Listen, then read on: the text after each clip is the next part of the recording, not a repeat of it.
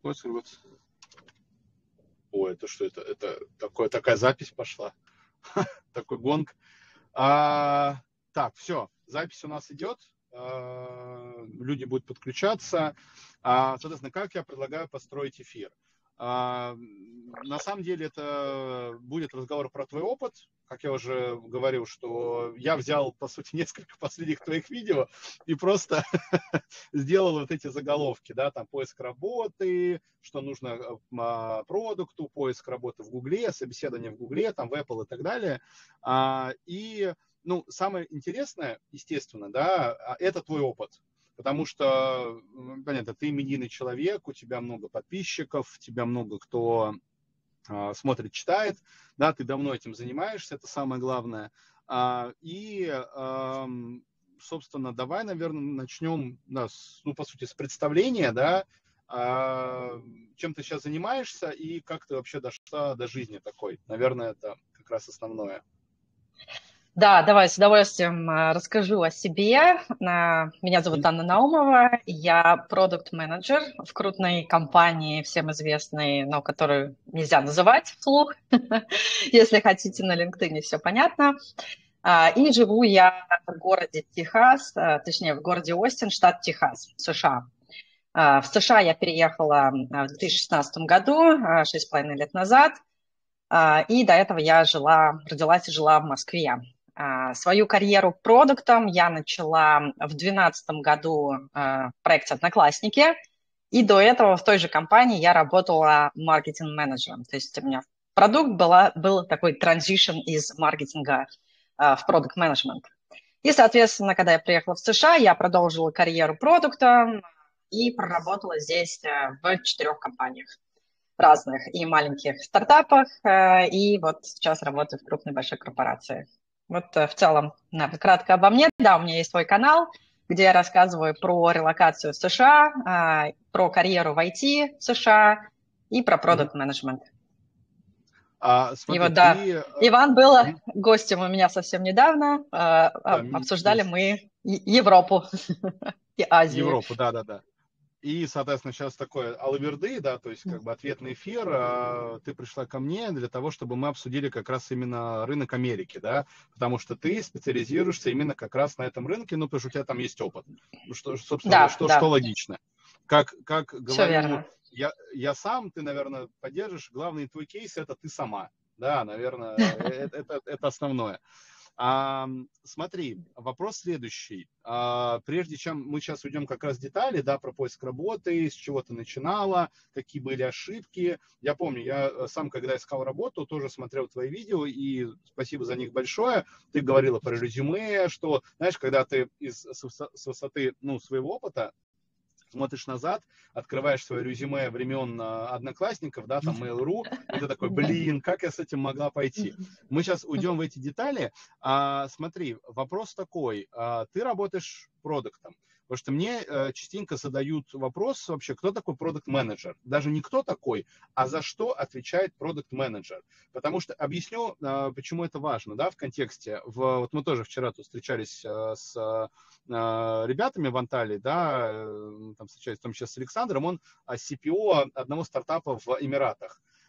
И он сказал такую вещь, что все-таки в российских реалиях продукт это, как правило, человек, который проект, э, который знает чуть-чуть маркетинг, да, то есть это такой, это даже не сколько по функционалу, сколько по, наверное, mindset у, да, по э, складу ума, да, и э, вот ты можешь сказать вообще, э, кто такой продукт именно вот с твоей точки зрения, и чем продукт в США отличается от продукта в России, ну, соответственно, с учетом твоего как раз предыдущего опыта. В чем самая принципиальная разница?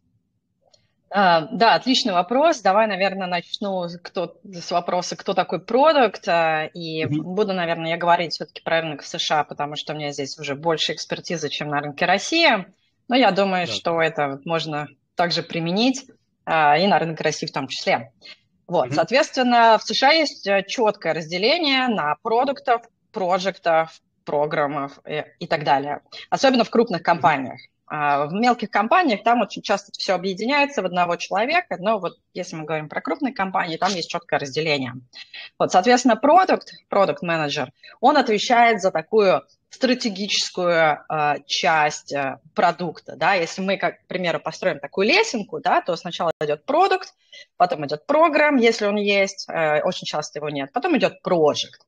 Соответственно, все, что связано, наверное, очень много определений продуктов, да, я хочу вот каким-то очень простым способом таким объяснить, э, из чего состоит э, вообще продукт, да, состоит из э, какой-то бизнес-части, соответственно, это какие-то финансовые показатели, это то, чего хочет добиться бизнес, также есть пользователи, для чего, для кого вообще мы делаем этот продукт. И третья составляющая – это технология, да, каким образом мы доставляем этот продукт. Так, секундочку, пожалуйста. Так, иди, пожалуйста. Так, у меня, прости, пожалуйста, да, у меня просто кот прыгает, прыг, да, у меня кот, и вот прям когда у меня очень важный звонок, он начинает прыгать на а, мое любимое растение и прям дерет его своими когтями я, я не могу. Во-первых, это меня отвлекает. Во-вторых, э, я начинаю очень переживать за свое дерево. Вот именно сейчас mm-hmm. я просто сижу, рассказываю про продукт менеджер менеджмент, и она начинает просто прыгать э, на мою пальму любимую. Вот, соответственно, это продукт, да, это вот такой вот э, верхний, такой стратегический э, вот, вот этот уровень. Дальше, если мы mm-hmm. переходим чуть ниже, да, программа, он отвечает за какую-то конкретную там, ну, вот программу, э, допустим, если мы говорим про крупный проект, гигантский, да, вот э, типа Amazon, да, программа может быть э, э, какой-то модуль, модуль определенный. И, соответственно, за него отвечает программ-менеджер. И если мы переходим к проекту, то проект уже конкретные задачи или конкретные какие-то фичи, да, вот что нужно сделать, разбивает на более детальные компоненты. Соответственно, там он больше расписывает какую-то а, техническую часть, больше коммуницирует с девелоперами, а, менеджерит бэклог а, и, соответственно, отвечает за delivery, за доставку вот конкретного вот этой части, который сформировал продукт в нужное время, в нужном качестве, да, в определенные сроки и так далее. Вот примерно такая разница. Mm, ну, то вот. есть, получается... Да, да, да, да, пожалуйста, продолжи. Uh, ну да, да, то есть как бы резюмируя, да, продукт, он стоит на такой какой-то более такой верхнеуровневой части, такой на платформе и смотрит, uh, вот как эта ракета запускается в космос, да, смотрит mm-hmm. на какая стратегия, да, какие рынки мы будем покорять, да, какие цели там, и вот двигает вот эту всю машину э, в направлении определенной цели, да, общается с пользователем, в том числе понимает проблемы и, соответственно, разбивает на какие-то вот компоненты и э, спускает да, дальше э, на разработку, да, где подхватывает либо программ, либо проект, либо все вместе, и, соответственно, разбивает уже на мелкие детали, потому что разработчикам часто читать то, что написал продукт, не всегда интересно.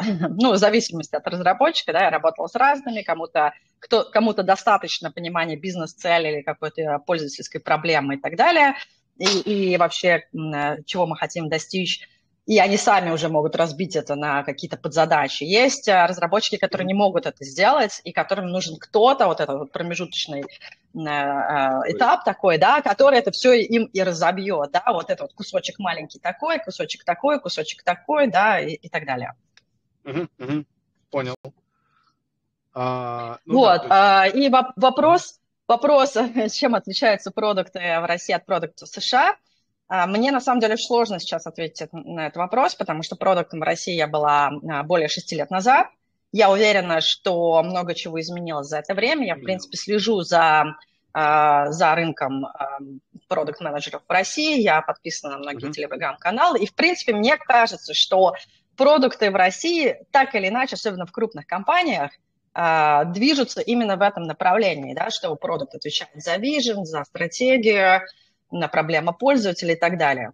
То есть мне кажется, mm-hmm. примерно плюс-минус э, то же самое. Да? Если мы берем какие-то небольшие э, проекты, может быть, стартапы, где продукт объединяет в себе и проекта, и сам он делает эти таски, сам менеджерит бэклог, и вообще все делает, и плюс еще маркетинг может делать, да. Очень все сильно зависит от компании. В США, в США тоже такое возможно. Все это зависит от размера компании, да. Угу, угу.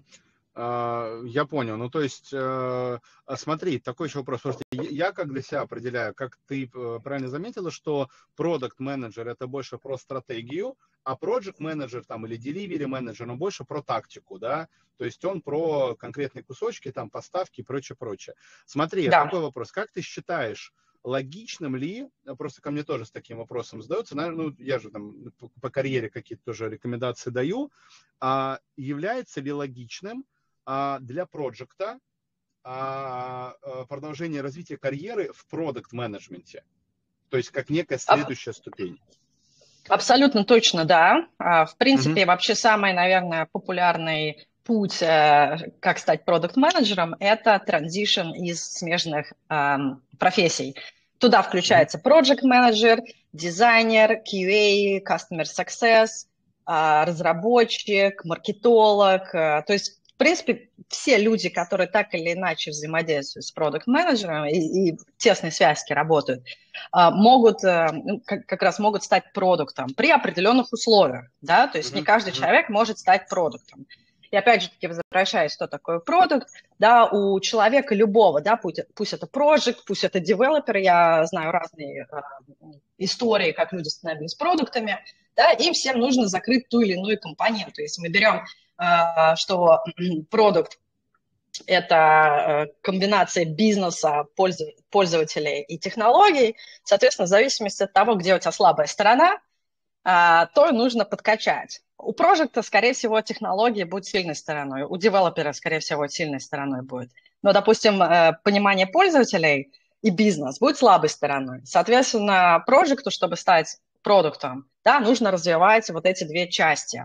Например, если мы говорим про Customer Success, у них, скорее всего, юзеры будут сильной стороной, они будут знать все про юзеров, про их боли вообще, кто они такие, да, но, возможно, будет страдать бизнес-часть. Возможно, у них хорошая то, тоже а, технологическая часть, потому что они взаимодействуют с пользователем и с девелоперами, да, но вот, к примеру, бизнес будет страдать.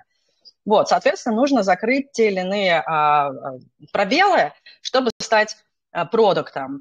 И э, ну, очень важно это проявление таких лидерских качеств, э, потому что продукт, он э, лидер, он должен драйвить свою команду по достижению определенной цели, и, соответственно, он должен проявлять, вот этот человек, который хочет стать продуктом, помимо знаний, да, он должен еще проявлять лидерские качества, проявлять инициативу и вообще что-то делать, брать на себя ответственность. Good. А, просто да, как раз вот мой э, следующий вопрос был, а, это как стать продуктом, да, ну, как применимо как раз в США, но ты действительно уже затронула, что в основном а, продуктом, понятно, что есть люди, которые вот изначально, не знаю, там, со студенчества, да, там, говорят, я хочу идти именно в продуктовый менеджмент, потому что в моем понимании хороший продукт – это в первую очередь хороший предприниматель а, то есть человек, который мыслит именно не, ну то есть да, стратегически мыслит с точки зрения бизнеса, с точки зрения клиента, с точки зрения бизнес-метрик, да, то есть о, его основная работа нацелена на донесение какой-то ценности, да, то есть он знает, как работает бизнес, кто его клиент, какие боли, знает, как э, все это посчитать, проверить и так далее, ну и, и какие-то, понятно, да, э, собственно, отклонения э, промониторить. А, э, в целом ты сказала, да, что в, в, из продукты часто идут люди из смежных областей, да, из проектового, из проектного менеджмента, а, из а, э, UX, а, собственно, исследователей. А, есть ли какое-то, ну, может быть, какая-то особенность, как стать продуктом в Америке? Ну, то есть, может быть, какие-то success story, а, может быть, люди, я не знаю, знаю, ну, то есть, э, к чему я это спрашиваю, потому что, ты знаешь, сейчас очень а, популярная история, а, когда люди свичатся, то есть они там, не знаю, 10 лет работали э, юристом, да, занимаясь юриспруденцией, а сейчас переходят, я не знаю, в тестировщики, да, или в бизнес-аналитики, да, а, причем как раз продуктов на самом деле, ну вот то, что я могу судить, именно джуниор продуктов меньше всего, в основном люди идут тестировщики, аналитики, разработчики и проекты, да, потому что ну, мне кажется, что в project management зайти проще, чем в product management, да, потому что, ну, как бы требования, они а, мне кажется, все-таки ну, по, а, послабее. А вот как обстоят дела э, в США? Есть ли какие-то особенности, как нужно заходить именно в продукт менеджмент, вообще как стать? И какие ошибки не совершать? Вот именно для тех, кто хочет зайти. Угу. Ну, да, то есть я уже сказала про э, переход из смежных профессий. Наверное, это самый популярный да. путь э, везде, и в России, и в США в том числе. То есть если угу. ты эксперт в своей э, сфере, который каким-то образом связан с продукт-менеджментом, э, у тебя есть огромные шансы, чтобы стать продуктом. Да? Это, наверное, путь номер один и самый популярный. Вот. Второй путь э, в США конкретно, я сейчас говорю про США – это э, стажировка. Да? Кого берут на стажировку? На стажировку берут выпускников университетов свежих с каким-то э, техническим, технических каких-то профессий вузов. Допустим, если ты, э, я не знаю, компьютер сайенс закончил или data analyst, ты можешь пойти mm-hmm. на стажировку в компании, вот крупные компании практически все раньше нанимали, сейчас, к сожалению, у нас из-за кризиса у нас э, фриз, но, тем не менее, я думаю, что кризис пройдет, да, программа продолжится. То есть они берут каких-то технических специалистов а, из а, вузов и обучают их в течение там, года или два на, на то, чтобы стать продуктом. Изначально они делают какие-то очень технические вещи, например, считают аналитику, табличку, да, какие-то mm-hmm. таблички, они сидят, читают, да, потом они учатся, эти люди, как делать выводы э, из этих данных, которые они там только что проанализировали, сгруппировали и так далее.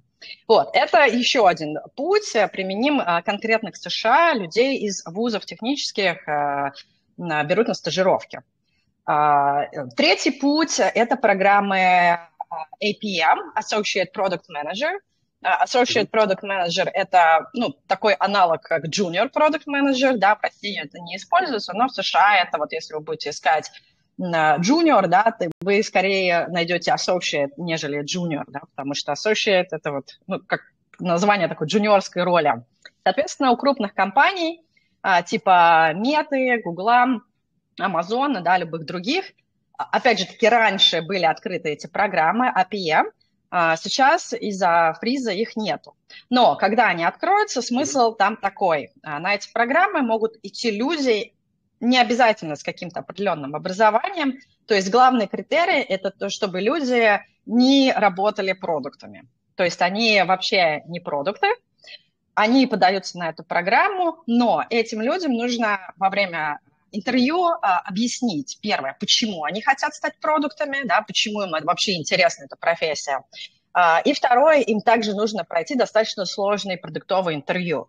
Продуктовые интервью в США, они а, ну, предсказуемые, э, и они состоят там из компонентов типа Product Design, Product Execution. То есть люди, которые идут на программу APM, заранее должны подготовиться. Они должны как минимум пройти, прочитать, я не знаю, какие-то книги, да, Марти Кагана, uh, Cracking the PM Interview, да, вот эти вот базовые книги для junior product менеджеров и, соответственно, с этими знаниями, уже теоретическими знаниями идти и применять их на собеседовании. То есть вот такой вариант тоже есть а, и достаточно популярный в США.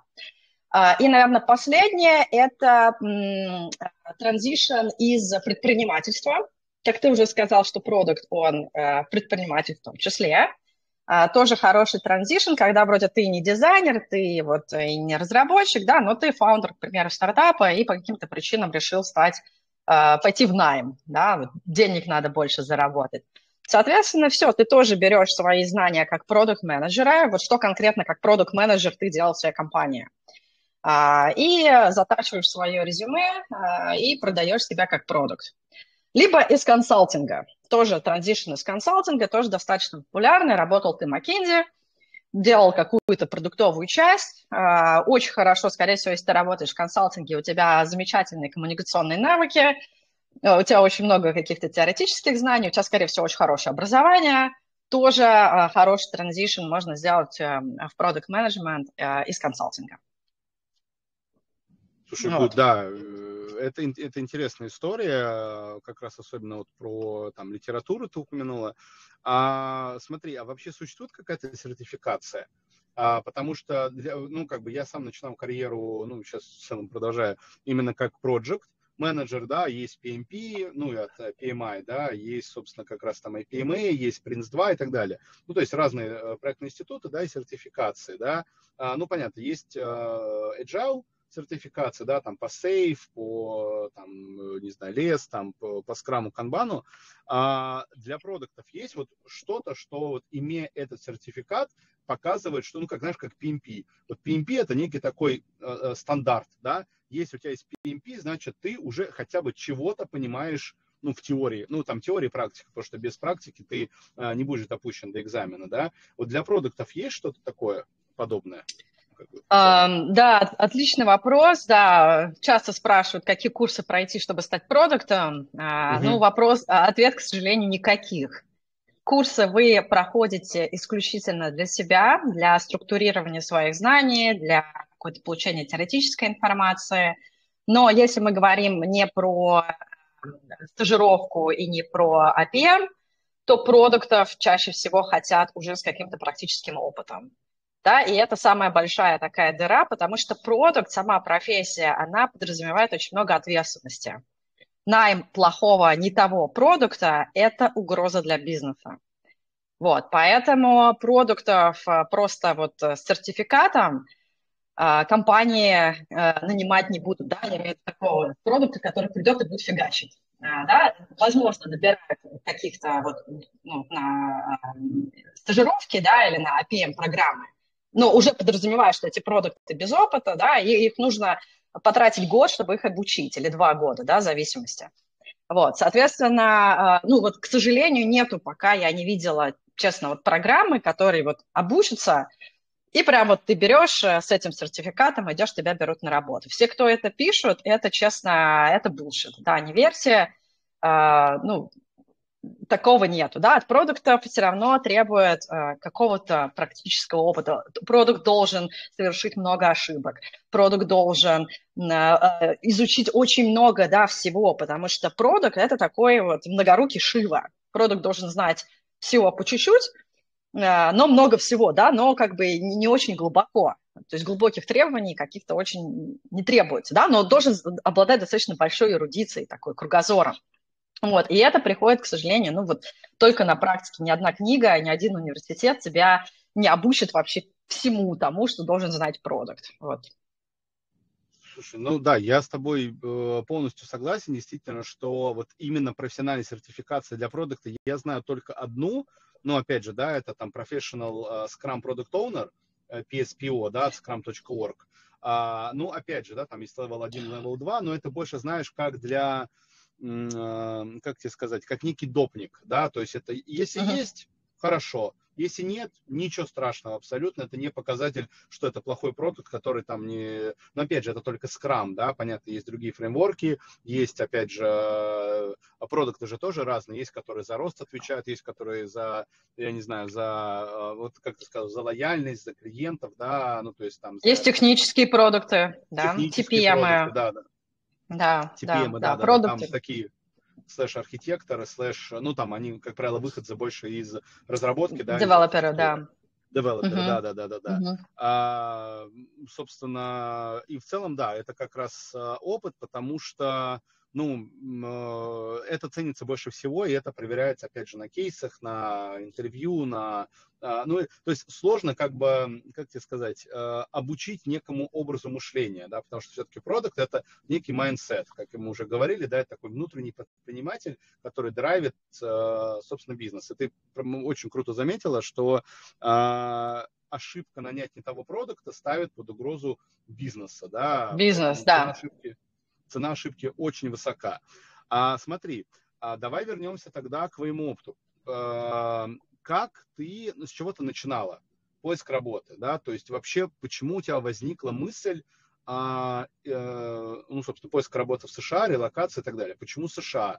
Почему, ну, вот мы говорили про Европу, да, почему, я не знаю, какая-нибудь там Германия, да, или там Португалия сейчас, да, а, популярна, да, то есть почему, я не знаю, не там, не знаю, Ближний Восток, да, там, например, в Эмираты. Все хотят попасть в Эмираты, там движуха эта страна, ну, понятно, мигрантов, люди, которые, ну, то есть приезжают туда именно работать и заводят некий нетворк. Почему Америка?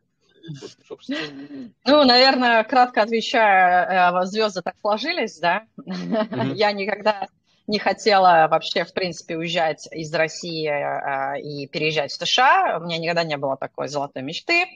Mm-hmm. Но так сложились обстоятельства. Еще в 2014 году а, я познакомилась со своим будущим мужем, который выиграл грин-карту в США. Он говорит, давай поехали. Я говорю, да не, не хочу, да. Вот, ну, примерно так это было. Я очень долго упиралась, а, но в итоге мы все-таки переехали. Ну, то есть просто как бы сложились обстоятельства. Mm-hmm. И, при, и приехав сюда, я уже понимала, что, ну, назад дороги нет. А, я уже приехала, Согласен. и я, ну, вот, как бы очень будет тупо сдаться э, и поехать обратно. Uh-huh. А, тем более я вот уже всем там рассказала, всем написала, что я еду в США, и я приехала в США, конечно, столкнулась с реальностью, которой я не была готова вообще. То есть если я а, в России, в Москве занимала вообще отличную позицию, я уже была таким а, хорошим, крепким продуктом, не, не синером, но, тем не менее, на такой middle я была. У меня было, по-моему, три года опыта работы на тот момент. Uh, у меня была хорошая зарплата, у меня была хороший проект, репутация и так далее. Да? За мной бегали uh, хантеры, рекрутеры.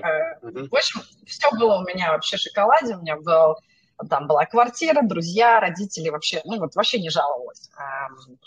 И переехать в США, я, понимала, я поняла, что я лишилась вообще всего всего, кроме, ну, вот, э, людей, с которыми я приехала. Моей дочери на тот момент и моего а, бывшего мужа. И, э, то есть, за мной никто не бегает, я никому не интересна, меня никто не знает, я не понимаю людей, мой английский оставляет желать лучшего, хотя я была уверена, что мой английский очень крутой. Да, и э, денег не хватает, живем как бомжи в какой-то, я не знаю, халупе, в бейсменте мы жили, да, бейсмент – это такой э, нулевой этаж с, с окнами в асфальт, да, ну, примерно, в темном. Ну, то есть все плохо, э, культурной жизни нет, друзей нет, вообще непонятно, да, то есть ты просто в такую яму скатываешься, и, конечно, это очень такой очень болезненный период. Я хотела вернуться, у меня было много попыток вернуться обратно в Москву, потому что мне очень не нравилось, что здесь происходит, я просто морально не была готова. Это вот ошибка была в том, что я морально не подготовилась к этому. Вот. Но что меня всегда останавливало, это ну, некий стыд проиграть, да, вернуться проигравшей. И это я как человек такой ачивер, я не могла себе этого позволить вернуться обратно в Россию проигравшим. Хотя я покупала билеты, я прилетала в Россию, покупала обратно, улетала обратно в Штаты. То есть меня колбасило в течение, наверное, лет двух. А, туда-сюда, я думала, все, улечу, нет, не улечу, нет, улечу, нет, не улечу, да, ну вот, ну и боролась, да. Вот, и возвращаясь к вопросу про поиск работы, mm-hmm. да, про, конечно, когда мы только прилетели в сентябре 2016 года, я понимаю, что у нас денег нет, на тот момент у нас было, сейчас скажу, наверное, тысяч пятнадцать долларов на семью из трех человек. Ну, то есть, как бы, не шик. Немного да. Немного, да, да, немного денег у нас было. Мы э, сняли достаточно дешевое жилье. Эм, дочь э, не ходила тогда еще в садик. Сады все платные в США, да, мы не могли себе позволить детский сад. А бывший муж сидел с ребенком, я, я пошла работать, потому что я просто первая нашла. Мы, мы понимали, что у нас нет вот этого этапа, знаешь, эйфории, когда ты приезжаешь в новую страну, у тебя такая, вау, новая страна, сейчас пойду вот гулять, изучать, все есть, там, путешествовать, да, у нас такого не было, потому что мы понимали, что у нас 15 тысяч долларов при минимальном расходе, вот если жить как бонус 3 тысячи долларов в месяц, э, мы можем протянуть максимум 5 месяцев. Вот это было такое четкое такой дедлайн, понимание, были еще деньги на э, черный день мы их назвали, мы отложили специально, чтобы если совсем все плохо, мы на эти деньги покупаем билеты обратно и возвращаемся обратно в Россию. Вот, поэтому у нас был четкий дедлайн, и я понимала, что ну, нельзя вообще ни дня терять, надо просто садиться, фигачить и искать работу. Вот мы сели, вдвоем начали искать работу. У меня заняло это три месяца найти свою первую работу. А у него 8 месяцев. То есть он свою первую работу нашел только через 8 месяцев. А ты сразу нашла работу, ну, то есть искала работу продуктом и нашла работу? А, ну, я не сразу нашла, да, я получила еще миллион отказов до этого. Ну, да, и, да, да, да, да. да. Но нашла продуктом, да, потому что я не хотела быть э, не продуктом, я понимала, что тогда сломается мой карьерный путь. Мне почему-то, mm-hmm. я не знаю, у меня не было какой-то теоретической части вот э, на, на эту тему, да, но я понимала, что карьерный трек очень важен. И я понимаю да. сейчас, почему он важен. Это США важно. он очень важен. Да, если ты продукт, и потом ты там продукт, там senior продукт и так далее, ты растешь как продукт, э, всем компаниям, рекрутерам понятно, кто ты. А если я была бы продуктом, потом я стала мыть полы, да, потом я стала продавать в магазине, пошла официантка, а потом вдруг решила вернуться в продукт, для них это вот непонятно, что произошло да, здесь, да, да, почему да, да. так. Угу. Вот, поэтому я понимала, что надо держать для резюме хотя бы свой карьерный трек, я искала исключительно продуктом, хотя мне очень многие люди говорили, что ой, кто приезжает в США, сначала идут работать там, не знаю, в русские магазины Мой продавать. Да, да, да. Да, поэтому, да, да, да. ребята, ребята, не слушайте, не верьте, да, э, не обязательно быть водителем грузовиков, если вы этого не хотите, да, поэтому э, все это бред, это говорят люди, которые хотят вас там демотивировать, или которые не могли по-другому, да, и пришлось что-то делать, что мне нравилось. Вот. На самом деле можно найти работу, которую вам хочется, просто надо определенные усилия. Вот, я искала, да, первую свою работу я искала три месяца и нашла в русскоязычном стартапе а, благодаря своему нетворкингу. Поэтому я всем всегда говорю, ребята, нетворкинг, нетворкинг – это просто это ключ. Это ключ к успеху. А, вот в США 100%, так я думаю, везде. А, поэтому а, начинаете строить, если вы думаете о э, переезде в США, начинаете строить свой нетворкинг как можно раньше. Вот завтра заходите на LinkedIn и начинаете со всеми дружить, комментировать, э, активничать, заполнять посты да, и так далее. Потому что долгосрочный нетворкинг, он очень, а, ну, очень важен. Ты никогда не знаешь, когда к тебе придет тот или иной э, человек, который может, может тебе помочь и чем больше у тебя друзей, тем лучше у тебя устроены вот эти вот связи, тем больше есть шанс, что когда-нибудь, да, возможно, через там, 10 лет этот человек тебе пригодится. И вот конкретно я свою первую работу в США нашла с человеком, через человека, которого, с которым мы работали 10 лет назад. Мы делали комедий, комедий-шоу в Краснодаре. И так получилось, что я, когда приехала в США, я очень была тоже активна в социальных сетях. Я понимала, что у меня режим emergency, мне нужно требовать о своей проблеме всем. Поэтому не, не бойтесь, это не стыдно, не стыдно просить помощи. И я просила у всех помощи, мне нужна работа в США.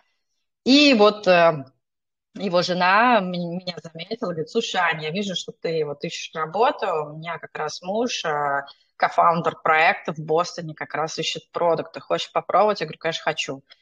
А, вот. И мы из Нью-Йорка переезжаем в Бостон, я получила офер, я прошла собеседование. И вот тем самым я получила свою первую работу.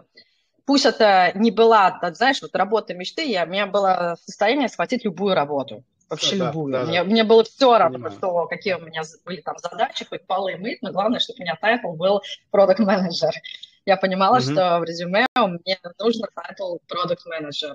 И э, потом, спустя год, когда я уже ушла с этой работы, я уже за год немножко окрепла, мой английский улучшился, вообще мое понимание культуры улучшилось, я уже, уже легче было, намного легче искать свою вторую работу. Вот когда ты приезжаешь, вот такой белый лист для американских компаний, это прям боль для всех.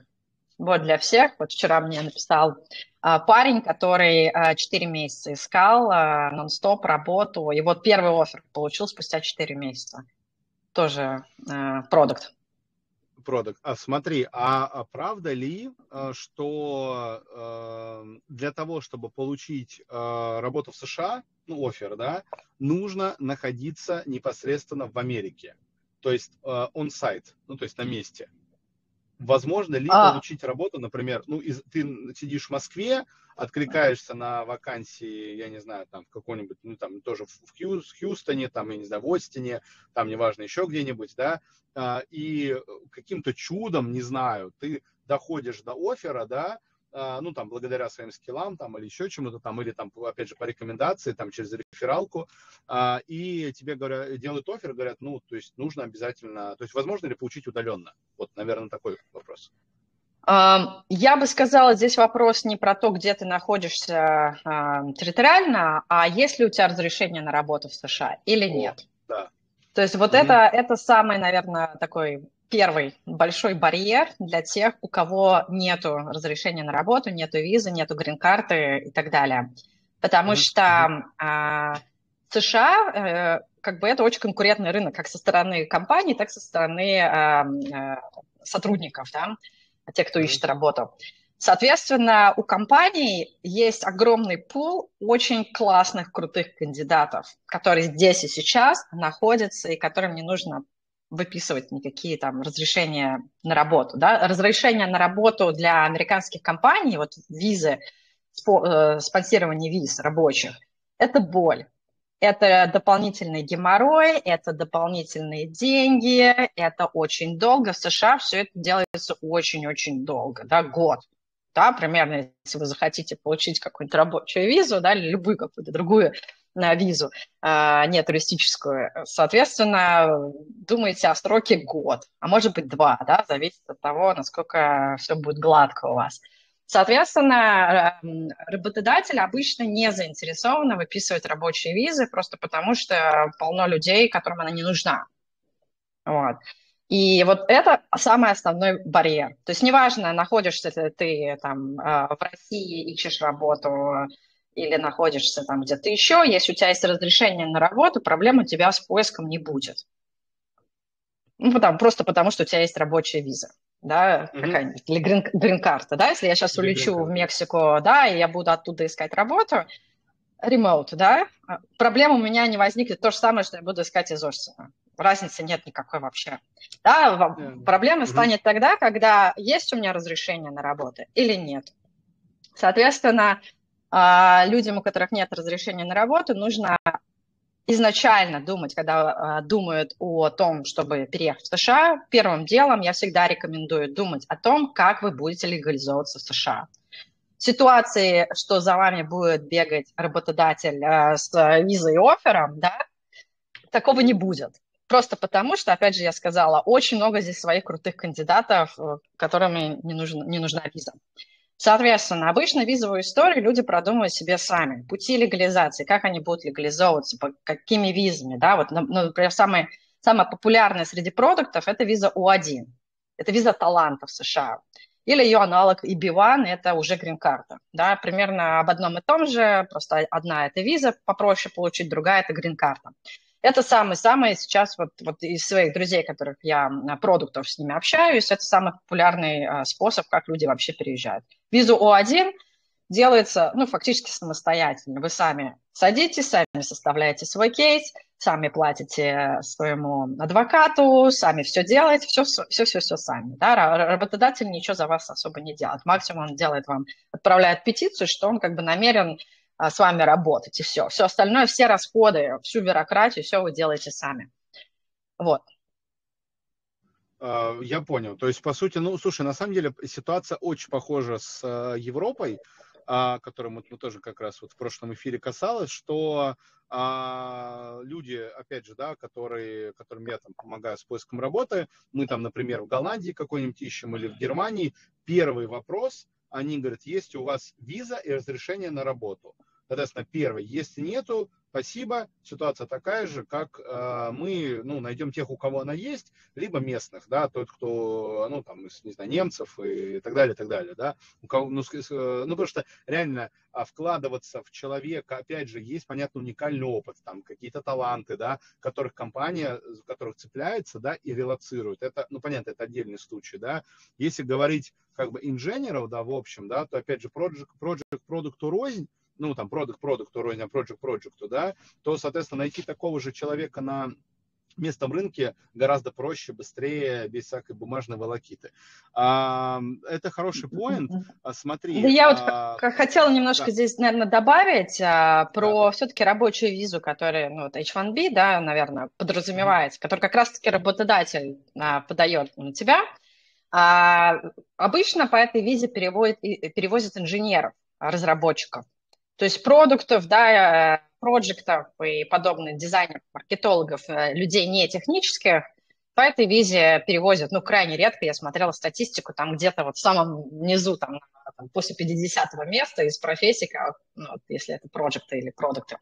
Вот, соответственно, если вы крутой, талантливый разработчик с крутыми техническими скиллами там, и достижениями, вы можете смотреть э, в сторону H1B виза.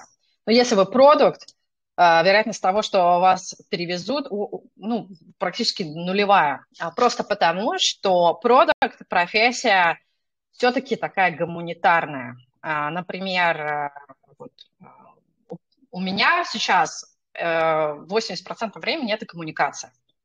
Я просто с утра до вечера я болтаю, делаю презентации, презентую, общаюсь, общаюсь и так далее. Вот, соответственно, русскоязычные продукты, насколько я это вижу, действительно отстают в коммуникациях. И вероятность того, что американская компания вместо американца с крутыми коммуникационными скиллами и вообще софт-скиллами будет брать э, такой черный ящик кота в мешке в виде э, русскоязычного продукта э, без таких уникальных коммуникационных скиллов, да, еще и с плохим английским и так далее, да, ну, ну просто равно нулю. Зачем? Да, вопрос зачем? Продукты – это люди, которые разговаривают с утра до вечера со всеми, с бизнесом, с менеджментом, с пользователями, с девелоперами, со всеми подряд с утра до вечера. Вот продукт фактически такая вот э, говорящая голова. Нам тут говорят, ну я, правда, еще прочитал, что а, пропадает запись, звук, но я могу сказать, что, ну просто мы уже 40 минут вещаем, почти 45, а в записи, у нас будет обязательно запись, и в записи со звуком все будет э, хорошо, поэтому как бы нужно иметь в виду, все-таки, видишь, телега по-прежнему лагает, э, я не знаю, почему, в чем проблема, у меня официальный клиент стоит, последняя версия, я удалял, заходил, не знаю, может быть, это какое-то ограничение. Ну, мы как бы, я думаю, что в любом случае продолжаем здесь, просто нет смысла там между телегой и зумом мотаться, чтобы uh-huh. все-таки была одна запись. А, смотри, а, я тоже согласен, что все-таки в классическом понимании 80% это коммуникации, и вот эти communication skills, stakeholder management skills, да, это прям супер важная история, как я шучу, а хороший продукт или проект а, работает ртом, да, то есть да. это как бы, это в первую очередь, да, негаши переговоры, да, там, я не знаю, со смежниками, с командой, а, опять же, с заказчиками и так далее, и так далее. Это прям вот... Сто процентов, да Э, этот скилл, который э, прям должен просто как, как отче наш быть, да, э, а, очень хорошо развит и переговоры, и, естественно, ну и понятно, уровень английского, да, для, если для разработчика еще так, можно, да, там плюс-минус э, да. на уровне команды, да, там какой-нибудь там B1, А2, ну, там, ну, А2, ладно, уж совсем маленький, B1 вполне достаточно. Все-таки продукт это, да, это про, э, ну и про project в целом тоже, на самом деле, да, про да, переговоры, да. коммуникация. Смотри, э, опять же, если говорить с высоты, э, твоего опыта сейчас, да, спустя, там, сколько получается, 6 лет, да, 6 лишним, какой совет, как, ну, наверное, какие три совета, рекомендации ты могла бы дать себе в 2016 году, э, собственно, которые, ну, то есть, условно, те рекомендации, которые нужно было сделать, но ты не сделала, да, то есть можно было бы подготовиться, но э, ты почему-то не сделала, да, вот ты как раз упомянула, например, про э, там, адаптацию, да, про, может быть, еще что-то, вот что-то может дать? Просто интересно именно. Uh, ну да, да, наверное, э, рекомендация номер один – это готовиться заранее. Ну вот сто процентов готовиться и готовиться как можно раньше. А, что готовить? Готовить нужно вообще изучать, э, изучать страну, город, вообще все, куда вы едете. Это очень важно, изучать какие-то детали, бытовые детали, вот все заранее, да, как снять жилье, как, э, не знаю, открыть банковский счет, как получить водительское удостоверение. Вот, вот, вот это вот все нужно знать.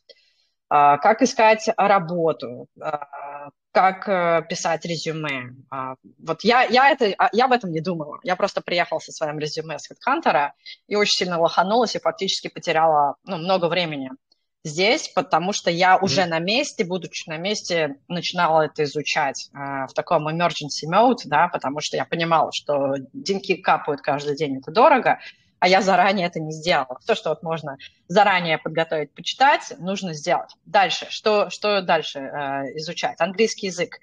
Не только заниматься, я не знаю, с репетиторами или какие-то группы, обязательно набивать себе ухо, как говорил мой преподаватель по английскому, вам нужно набить себе ухо. Просто отличное выражение, да, слушать любые акценты.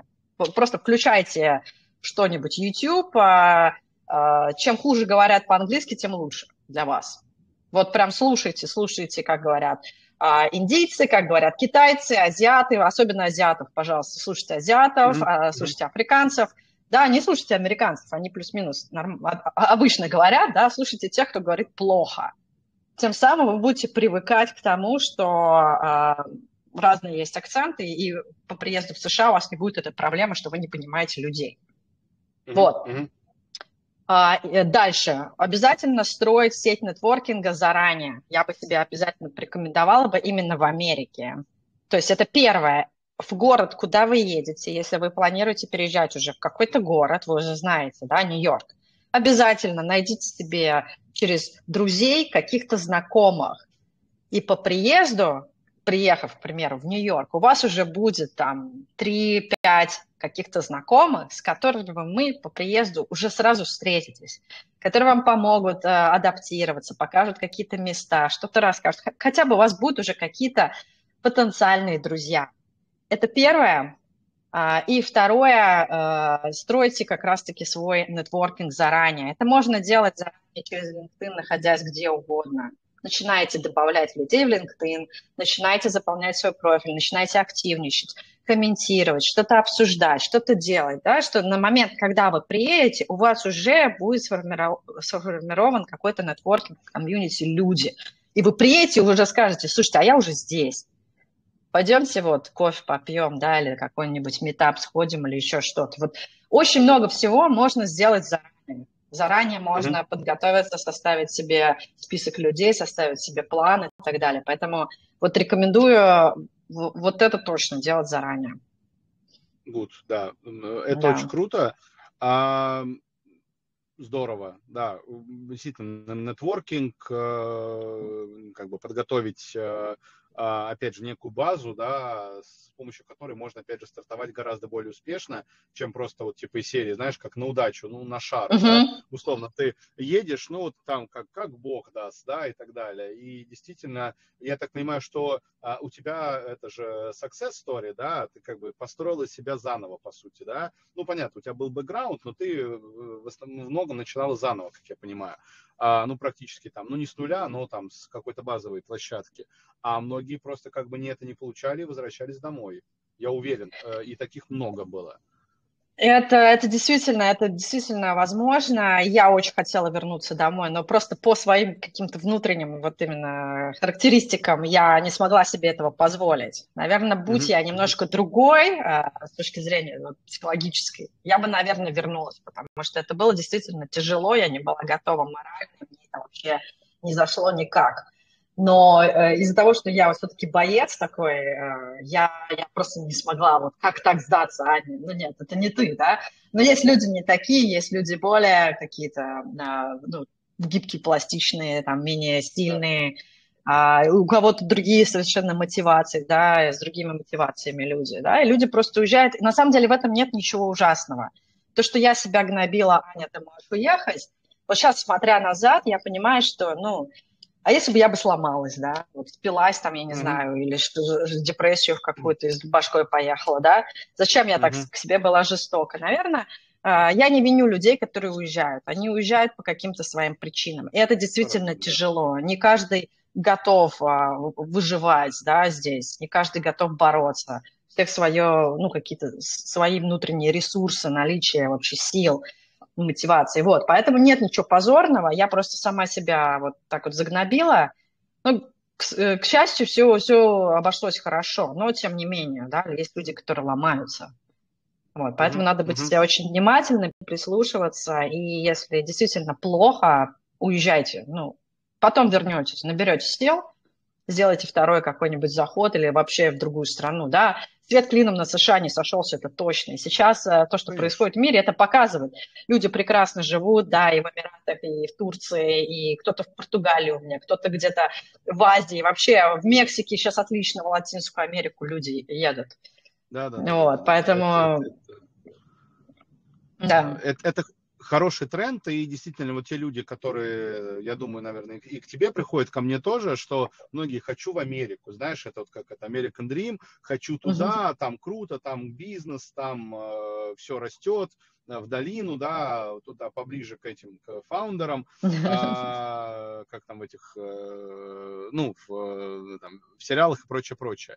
А, я многим говорю, что можно все-таки сделать какой-то, может быть, промежуточный вариант да, опять же, а, там, те же Эмираты, тот же Кипр, та же Европа, да, ну, то есть любая страна международная, да, ну, то есть где, где есть международное присутствие, поработать там, да, а, и, соответственно, дальше с этой а, базой уже гораздо будет проще, но, опять же, имея опыт, имея англи, английский, да, опять же, если мы говорим про общение с, ну, на английском языке, да, гораздо будет проще. В, в, в первую очередь как-то эмоциональнее проще, да, да, да, я согласна, на самом деле, неважно, какая страна, ну, главное, чтобы она как-то культурно отличалась.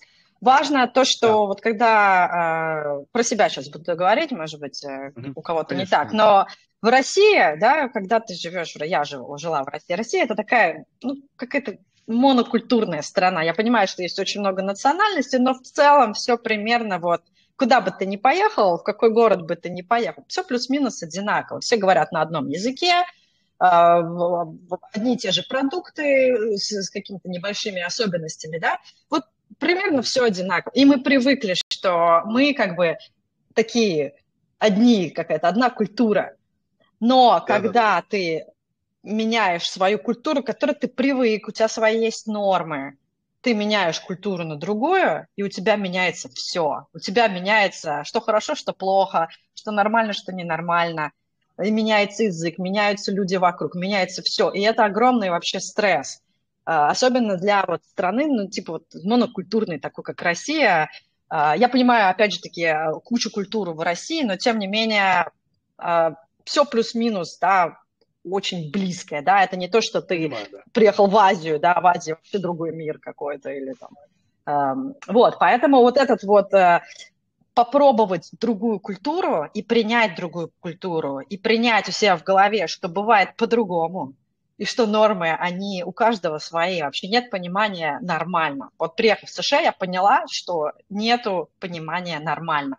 Что нормально в России, ненормально в США что нормально в США, ненормально в России. Да? И это просто огромный вообще сдвиг в моей голове было. Поэтому э, можно поехать в любую другую страну и просто испытать вот, вот этот диссонанс. Почему так? Почему дети ходят босиком, когда на улице минус 10 и без шапок, да, вот это вот. Как так? Почему дети спят на полу в детских садах? Почему их не закрывают? Я не знаю, вот почему с тобой продавцы в магазинах говорят с утра вообще очень долго и собирают тебе пакеты, да, почему все быстро не сделать, да, вот такие вот мелочи, и ты понимаешь, что нормы, они очень такие субъективные. Вот. Да, да, да, да, размыто.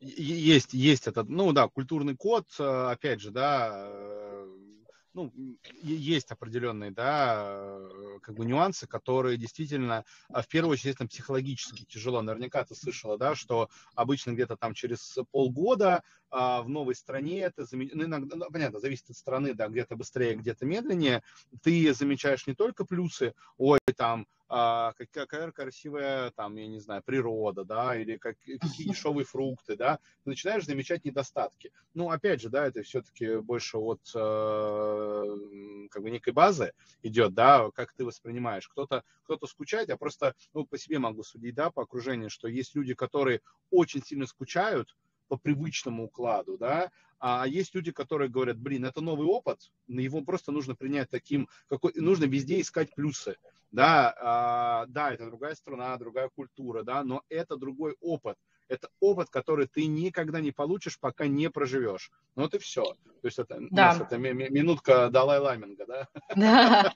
У меня, кстати, да, порекламирую, может быть, свой канал, потому что у меня есть видео с э, психологом на эту тему. Я настолько мне эта тема была интересна, что я пригласила психолога обсудить психологию иммиграции. Поэтому мы как раз там Круто. обсуждаем все вот эти этапы, где плохо, где хорошо и так далее. Поэтому, да, если, mm-hmm. если интересно узнать, что происходит с организмом человека, да, с психикой человека при иммиграции, заходите, смотрите. И практически каждый это проходит. То есть вот каждый испытывает какие-то этапы вот тоски, да, э, может быть, легкой депрессии или сильной депрессии, да, вот. Это нормально, это вообще нормально, да. А, да, это, это, ну, я говорю, опять же, очень сильно зависит, понятно, от э, человека, от его окружения, от страны, да, в какой он, э, там, он один или с кем-то, или там, ну, то есть компании, да, то есть очень от многих факторов зависит. А, окей, а, смотри, давай тогда по тактике. А, у тебя недавно был эфир про то, как пройти собеседование в Google да. Uh-huh. Google мы рассмотрим, наверное, как один из таких ярких примеров, да, все хотят туда попасть, там дикий конкурс, а, свои нюансы, да, а, ну, так же, как и в Amazon, как и там, в другие крупные, да, там в, и в Apple, я уверен, да, а, вот по тактике, какие рекомендации ты можешь дать людям, которые, предположим, у них есть разрешение на работу, грин-карт и так далее, да, ну, либо, опять же, да, они, ну, то есть решили вот этот вопрос, по которому мы говорили а, ранее, а, а, по тактике, с чего начать, как подаваться, что готовить, как готовиться к интервью. Ты об этом частично говорила, но вот хотелось uh-huh. бы весь процесс, может быть, на примере Гугла, как такой, наверное, uh-huh. наиболее яркий. Ну или на, на примере Apple а, лично тебя, да, вот. Uh-huh. Uh-huh. Uh, да, сразу скажу, что с первого раза в такие крупные компании попадают редко, uh-huh. и люди обычно много лет пытаются. Ну, то есть это не то, что они там с утра до вечера пытаются, да, они попытаются, получить отказ, потом через год попытаются, получат отказ, да, на третий раз э, э, все, все хорошо.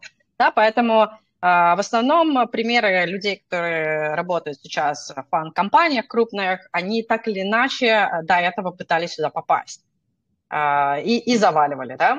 И это нормально, это абсолютно нормально, если вам э, с первого раза отказали в Google, это вообще нормально. Да, наверное, я думаю, 99,9% а, на первом этапе отказывают. Да, мне тоже отказывают. Я много лет пыталась э, с определенной периодичностью.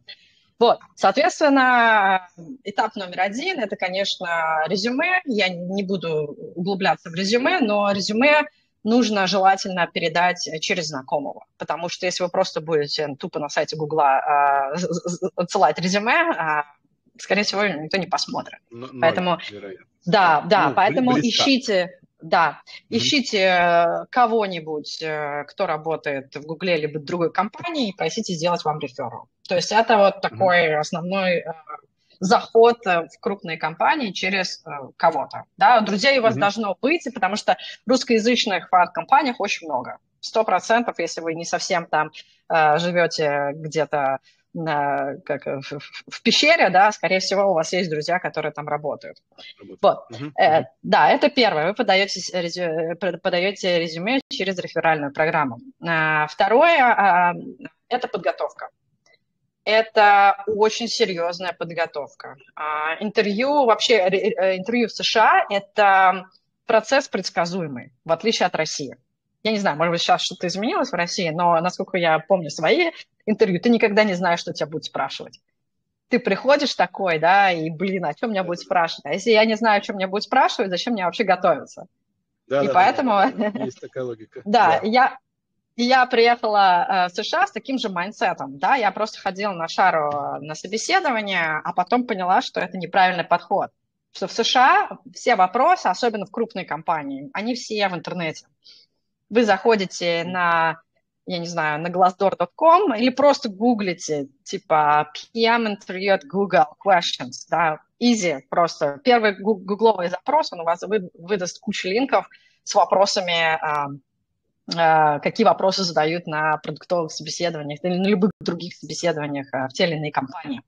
Это все очевидно. Что от вас ожидают ваши интервьюеры, это то, что вы будете готовиться. Соответственно, самое важное вообще во все вот эти вот а, фан-компании а, вещь – это подготовка. Для под подготовки написано очень много книг, вот в том числе Cracking DPM интервью, если вы говорите, мы говорим про продуктов, Cracking Coding интервью, да, для девелоперов, Decode Conquer, да, там очень много разных книг, но вот, вот основные Льюис Ли книга «164 вопроса». Все они примерно об одном, и все они релевантны до сих пор. Они были написаны, не знаю, лет 10 назад, но ничего не изменилось. Вообще ничего, да, вот примерно те же самые плюс-минус вопросы, те же самые фреймворки, э, то же самое. Все. Поэтому покупайте, скачивайте книгу, читайте, и дальше, э, когда вы прочитали теорию, идите практиковаться. На МОК-платформы, с коучем, с другом, сами с собой перед зеркалом, да, чем больше вы практикуете, тем лучше. Соответственно, вы идете на интервью, первое свое, вы его фейлите, а, но вы делаете для себя выводы. Вы попробовали, вы сделали выводы, да, насколько вы сильно нервничали. Да? Одно дело, когда вы тренировались с друзьями, другое дело, что вы реально с, со своим э, чуваком из Гугла общаетесь. Вы видите, какие вопросы он вам задает, как он вас ведет по этому собеседованию, потому что, наверное, ни один коуч – не может вас провести так же, как ведет э, интерьер из, ну, реальный интерьер. Поэтому вы приходите, вы фейлитесь, э, но вы делаете для себя просто гигантское количество вообще выводов и получаете огромное количество инсайтов, как все проходит. Да? У вас э, фриз на полгода-год в зависимости от компании, позиции и так далее. Да? Потом вы подаетесь опять, и вы уже знаете с теми инсайтами, которые вы первый раз получили – вы же понимаете, ага, вот это здесь надо то-то, то-то, то, здесь я не дотянул, да, вы уже приходите туда с э, более подготовленным. Вы можете зафейлиться, вы можете пройти, да, если вы зафейлитесь, ничего страшного, опять делаете выводы, идете еще через год. И вот примерно mm-hmm. такой процесс когда-нибудь у вас обязательно получится. Просто сразу хочу сказать, что вот, ну, э, это не дело одного, одного дня, да, что вы такие зашли случайно, да, это подготовка, это отказы, и, и это процесс длительный. Угу. Если вы не какой-то, ну, есть... конечно, там гениальный человек с каким-то, да, ну, суперопытом. Нет, ну, да. Да. Какой-то элемент удачи, естественно, тоже может да. быть, да. Не исключаем, опять же, как это да. осилит дорогу э, идущий, да, и поэтому в любом случае ты пробуешь, пробуешь, ну, потому что прохождение интервью это навык, это стопроцентный навык, который качается, как и любой другой, да. Ты меньше стрессуешь, а ты понимаешь, как отвечать на вопросы, а, потому что лично вот что мне пом, э, пом, ну, помога, помогло, да, а, помогает, ну, как бы помогло подготовиться к интервью, а, я просто выписывал вопросы, которые мне задавали, да, там, начиная tell me about yourself, заканчивая mm-hmm. там, а, я не знаю, самый главный а, там fail в вашей карьере, да, или там, э, почему вы, э, там, не знаю, как вы решаете конфликты, да, в команде, да, ну, то есть какие-то такие вещи, ну, то есть есть софтовые, есть хардовые, да, там какие-то по фреймворкам, по а, там методикам приоритизации задач, например, а я просто выписывал блокнотик, и вот у меня, условно, я сижу перед ноутбуком, у меня собеседование, да, а справа стоит iPad, где у меня заметка mm-hmm. как раз, я не читаю, это самое главное, не читать, потому что когда ты читаешь, да, это супер Это заметно. видно, у тебя, да. У тебя глаза в другую сторону смотрят, ты зачитываешь и так далее, но интонация меняется, да. А у меня э, шпаргалка только для успокоения, да, то есть, условно, mm-hmm. если я отвечаю какой-то хардовый там, не знаю, методы приоритизации рисков, вы знаете, стратегии митигации риска, я такой, ё-моё, их там 7 штук, да, ну, соответственно, я их пальцем листаю, о, вот это, и я там, ну, как-то могу, ну, Uh-huh. то есть э, перечислить, да. А, в целом, ну, опять же, это больше для успокоения. Ты знаешь, как шпоры пишут, что, типа, есть запасной вариант, который, вот это ж, ну, больше именно, да, про, про, про успокоение себя, да, то есть про уверенность. А, и это реально помогает. Реально вот э, я когда проходил большие интервью, там, по полтора часа, да, и так далее, когда кучу вопросов тебе задают, естественно, ты там не знаешь какое-то определение, такой, опа-поп, посмотрел, там своими словами рассказал, и нормально. Потом ты запоминаешь, потому что вопросы повторяются, ты правильно. А я, когда, например, проходил а, интервью в компании в Эмиратах, а, мне даже показалось, что вопросы несколько старомодные, да, опишите три ваших сильных качества или три ваших недостатка, да, там, почему вас должны взять, взять именно вас, да, то есть, ну, мне такие вопросы, знаешь, задавали там, то есть, когда-то там 8 лет назад, да. 7 лет назад, то есть, как бы, а в целом это норм. Смотри, а по этапам а, интервью, потому что обычно, ну, здесь, наверное, начало стандартное, да, скрининг по телефону, да, потом general интервью, потом какое-нибудь техническое, потом culture fit, ну или там наоборот, culture fit, потом техническое. Это действительно так? Ну то есть или есть какие-то особенности? А, ну, действительно зависит от компании, да, у каждого компании свои процессы, но в целом ты правильно сказал. Первый – это всегда рекрутерский скрининг по телефону, tell me about yourself, uh, what's your work authorization, да, вот эти вот базовые вопросы и, может быть, да. что-то по твоему опыту. А второе интервью, оно обычно идет уже с харин-менеджером или какое-то продуктовое, в зависимости от компании, допустим, в Фанге это уже product design questions будет у тебя прям сразу они не разбусоливаются, не спрашивают про твой опыт. Про твой опыт практически там вообще не спрашивают. Они сразу ныряют в этот продукт дизайн свои вот эти фреймворки, которые вопрос, которые они любят задавать. А в каких-то других компаниях тебя могут, э, какой-то другой продукт может тебя погонять по твоему опыту.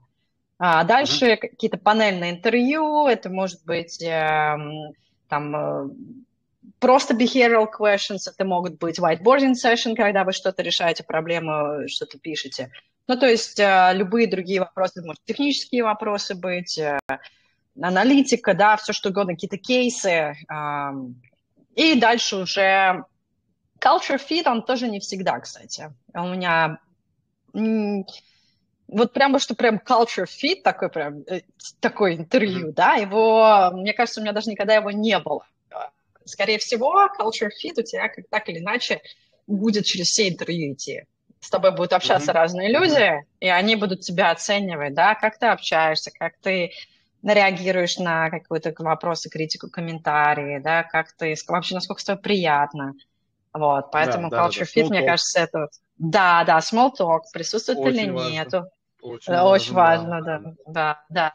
Вот, да. А, ну как-то так, да. А, слушай, такой вопрос. Тестовые задания – а тебе, ну то есть существует два вида тестовых заданий. Наверное, ты как бы участвовал, когда тебе дают кейс заранее, да, и, например, какое-то время на подготовку. Ну, то есть как некая, а, там, не знаю, как один из этапов интервью, да, у меня тоже так были кейсы, например, а, там, проанализировать конкурентов, а, вы, выписать, я там свод-анализ делал, да, и, например, описать а, первые две недели работы в виде презентации. Мне показался кейс прикольный, то есть мне дали направление, я подготовил презентацию, на английском рассказал, ну, ответив, естественно, на а, вопросы. Есть тестовые задания, когда тебе садятся, ну, то есть ты открываешь, не знаю, фигму там или мира какой-нибудь, да, и говоришь, нарисуйте прототип, я не знаю, ну, я не помню, какой вопрос, там, типа, Ютуба для космонавтов, да, там, условно, приложение, да, там, Ютуб для космонавтов, как он должен выглядеть. И тут смотрят уже такой некий, ну, понятно, там, продуктовый, креативный подход, да. А вот у тебя были такие кейсы в практике?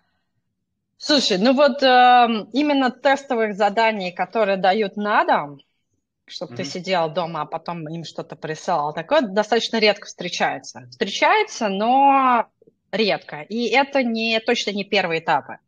То есть тебе могут дать mm-hmm. кейс уже после того, как ты прошел несколько интервью, когда ты уже понравился всем, и вот как, как завершающий этап э, у тебя может быть э, такое тестовое задание. Да, у меня было достаточно mm-hmm. редко, э, просто потому что ну, США уважают а, чужое время, да, сделать тестовое задание, это большое, больш... это много времени, да, обычно да, люди тратят да. Не, не час, да, день, два, а, вот. А, соответственно, ну и, соответственно, его проверять тоже долго, да, рекрутеры тоже и о себе еще думают. Зачем вам еще сидеть и еще тебя проверять? Uh-huh или там хайринг менеджер. Вот, поэтому чаще всего здесь бывает, вот как ты сказал, кейсы в прямом эфире. Когда ты, у тебя uh-huh. есть 30 минут, а, тебе в прямом эфире, да, на звонке дают какой-то кейс, да, например, вот э, э, Oculus, задизайнить Oculus для слепых людей, да, или посчитать, э, я не знаю, определить цель Instagram Stories, да, или если Instagram Stories метрики упадут, что вы будете делать, да, это вот прям у тебя есть 15 минут, 30 минут, в зависимости от вопроса, а, у тебя есть какое-то время на него ответить. Все, и ты сидишь и в прямом эфире, ты можешь рисовать на мироборде, ты можешь э, рисовать на iPad, да, ты можешь рисовать просто в Google Доке, в табличке, что угодно делать, просто каким-то образом mm-hmm. показывать ход своих мыслей. И цель здесь не то, что ты предоставишь какой-то хороший результат, а то, как ты, ты покажешь как то, как ты работаешь. Да, процесс, да, процесс. Да. Вот. И это самый частый кейс. То есть, с одной стороны, плюс в том, что ты не тратишь очень много времени, то есть всего 30 минут.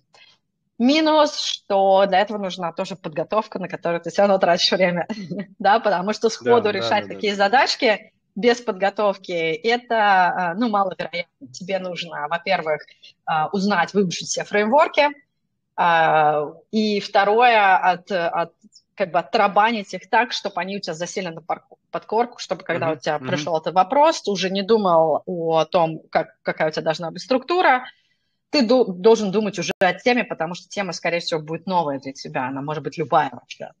Угу. Вот. Да, понятно, да. В целом логика ясна. А у тебя были такие случаи, да, когда ты сидела Конечно. и интервью решала? А, и ты, да, всегда. От, от, есть какие-то тренажеры, которые позволяют к этому готовиться? Вот как ты готова заранее? Мне просто интересно. А, но опять же таки, возвращаясь к подготовке фан-компании, а. вы заходите в Google, вы, на, да. вы угу. находите лист вопросов, все, а, все в открытом доступе, секретов никаких нету. Вы читаете книгу угу. Cracking DPM интервью, как отвечать на эти вопросы. Вы идете в YouTube, смотрите какой-нибудь канал типа Try Exponent, там смотрите, как люди отвечают на эти вопросы понимаете uh-huh. логику, структуру, берете вопросы, берете кого-нибудь себе напарника, любого, либо на платформах, либо среди друзей, либо коуч, либо сами с собой, и отвечаете на эти вопросы. Я исписала, вот у меня а, была подготовка в 2019 году, подобным типом интервью я практиковала очень много, вот у меня, наверное, вот такая вот стопка бумаги была. А4, где я вот, вот, вот все просто писала, я просто брала вопросы из интернета, и такая, ага, ага, ага, да, и все это расписывала. Вот. Да, слушай, ну да, это прям такой под подход. Э, но у меня, да, тоже заметка, конечно, там не стопка бумаги, но вот у меня заметка в iPad, там она очень длинная. Там реально все вопросы, и там и продуктовые, и проджектовые, а, и там э, какие-то общие. А, смотри, вопрос такой, деньги. Uh-huh наверняка задают вопрос about your как, salary expectations, да, по а как наиболее корректно отвечать на вопрос про ваше зарплатное ожидание, да, а, то есть здесь эм, существует ли какой-то подход, э, существует ли какое-то ограничение по зарплате, например, что ты можешь перейти из одной, э, перейти из одной компании в другую не более там такого-то процента, да, и вообще как правильно отвечать, то есть у тебя, например, зарплата, я не знаю, X долларов, да, соответственно, не знаю, там 10 тысяч долларов, условно, не знаю, 5 тысяч долларов, да, соответственно, вообще как э, а, принято, ну, то есть э, ты приходишь из одной компании в другую, например, это какой-то рост, да, там из позиции продукта в senior продукта, да, а, в каком, есть ли какая-то норма, ну, это некий принцип, да, а, сколько можно просить больше? 50%, uh-huh. 100%, 15%, да, и как uh-huh. вообще понять, э, какие деньги просить? Супер вопрос. Сразу отвечу, ограничений нет. США страна э, да, с рыночной экономикой, Класс. за сколько продаж, за столько продаж, да, себя. Вот. Угу. Соответственно, давай я начну с того, как строятся вообще зарплаты в США, а, как угу. начисляются, я имею в виду. То есть вас могут спросить либо годовую вашу зарплату, либо часовую. То есть это вы должны знать свою годовую зарплату до налогов, это если вы, допустим, идете на как full-time employee. Если вы идете на контрактную позицию, что тоже достаточно популярный кейс, ничего там позорного, ужасного нету, да, быть контрактником, э, вас просят часовую ставку. Вот. Mm-hmm. Как, как, как узнать, э, какая у вас годовая или часовая ставка, да. да? Ну, то есть у меня уже нету вопросов, сколько я стою, потому что я уже знаю. Но если вы только-только приехали в США и думаете, как вам узнать свою зарплату, а, ну, вы заходите а, на Glassdoor, опять же таки, все, все в интернете, все доступно, а, выбираете там salary и позицию, там у них прям есть целый этап, да, salaries, да, допустим, вы product manager, да, вы выбираете, ага, типа, сколько зарплаты product manager, дальше вас просят город. Это очень важно, потому что от города к городу, от штата к штату зарплаты... То есть это налог, да. Да, да, да. да. Мы, зарплаты мы говорим до вычета налогов. То есть сейчас мы Гроз, говорим, что... Гроз. Да, угу. да, до вычета все зарплаты исчисляются до вычета налогов. Да, сколько у вас уже угу, будет вычислять угу. налогов, это уже, это уже ваши проблемы. А, опять же таки, зарплаты разнятся просто потому, что уровень жизни разный. В Калифорнии это будет выше зарплаты, но и дороже жизнь. В Техасе это будет ниже зарплаты и дешевле жизнь. Да, в Техасе тоже есть города, да, э, типа Остина, Остин считается достаточно дорогим городом для Техаса, есть Сан-Антонио, который подешевле. Вот вы примерно mm-hmm. смотрите, выбираете и ищете какой-нибудь average э, для вашей позиции в городе, где вы либо живете, либо хотите работать. Накидываете туда процентов 10-20, да, в зависимости от вашей жадности, и с этой зарплатой вы выходите на рынок. А почему накидывать? Просто потому, чтобы была возможность поторговаться. Потому что у э, работодателей, если у них нет возможности вам заплатить какие-то деньги, они вам об этом скажут. Все супер, но у нас вилка такая-то, такая-то. Поэтому лучше всегда mm-hmm. иметь немножко сверху запас, чтобы потом э, сделать э, шаг назад. То есть, чтобы у вас была возможность как бы балансировать здесь. Mm-hmm. А, дальше, как исчислять а, а, часовую ставку? Э, есть тоже, опять-таки, калькуляторы э, в интернете в свободном доступе, там, salary calculator, like, annual to uh, hourly, да, что-нибудь типа того вбейте, найдете кучу калькуляторов, закидываете туда свою годовую ставку, получаете часовую, к этой часовой накидываете обязательно, обязательно накидываете процентов, я не знаю, 30-50, да, в зависимости, mm-hmm. опять же таки, от, ваших, от вашей жадности. И с этой часовой ставкой идете. Почему нужно закидывать? Потому что э, контрактники получают меньше бенефитов, чем full-time employee. Uh, у них, скорее всего, хуже или вообще нету страховки, что очень важно в США, вам придется страховку платить из своего кармана, нету uh, отпуска, и вообще они работают по, получают зарплату за то время, которое они проработали. То есть, соответственно, если праздник, Э, там, Новый год, то контрактники, они просто тупо не получают свою зарплату. Вот, поэтому mm-hmm. важно в эту калькуляцию включать, включить вот эти вот расходы, которые вы понесете, просто будучи контрактником. Поэтому часовая mm-hmm. ставка – это не просто тупо э, поделить свою годовую на дни. Это должна быть выше, ставка должна быть выше. Выше. Вот. Соответственно, когда вы, да, идете э, с зарплатой, э, обычно это все открыто, обычно вам работодатель тоже говорит свою вилку, вы говорите свою зарплату, вы где-то торгуетесь или не торгуетесь, или соглашаетесь, и, в принципе, э, работодатель не имеет права спрашивать, какая у вас была предыдущая зарплата. Ну, то есть законодательно не, не имеет права вас спрашивать, это ваше личное дело, какая ему нафиг разница. Вот. И Слушай, она нигде не прописана, что... да? Кроме а, налоговой вашей что... декларации, да. Ну да, да, да, да, да. То есть это даже как неэтично, потому что, я говорю, в Эмиратах, а, опять же, я как бы, опытных людей уточнял, ну, по Эмиратам, потому что как раз у меня вот больше всего собеседований было в, в, этой, в этой стране, а, там тебя просят даже прислать, ну, то есть там как-то назвать эту цифру, потому что от этой цифры они, э, там э, какая особенность рынка, что есть э, некое правило, что повышать не более процента, но опять же, это как в первую очередь внутри mm-hmm. страны, да, чтобы друг друга не хантили, типа, знаешь, там плюс 50% и так далее. Потому что, знаешь, ну, вот в России там Сбербанк всех вступил, сразу x2 зарплаты, да, и так далее, и так далее. Все хотят Сбербанк, ну, потому что предлагает большие деньги, да, да. Там и премии в том числе.